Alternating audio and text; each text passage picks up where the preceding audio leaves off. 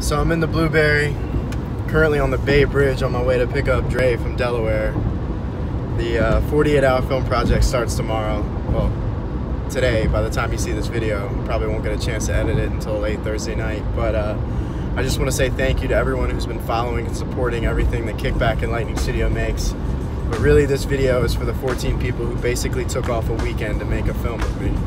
Um, I got into this because I wanted to use film and video to try to change people's lives, and I want to say that each and every one of you guys has really made an incredible impact on my life, and there's no one else that I'd rather be making a movie with this weekend.